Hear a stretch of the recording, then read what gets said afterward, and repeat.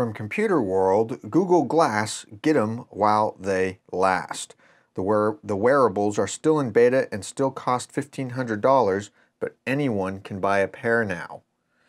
Uh, Google is ramping up its efforts to get its wearable computer onto as many heads as possible by opening up Glass for general sale. The company announced Tuesday evening that after keeping a tight rein on glass sales, the computerized eyeglasses now are up for sale as long as Google has them in stock to sell. Google's Glass team made it clear in a post on Google Plus that the product is still in beta testing and the company is looking for early adopters, also known as explorers, while engineers continue to work on the hardware and software and third parties add to the ecosystem of apps. So pretty interesting. Uh, definitely check it out.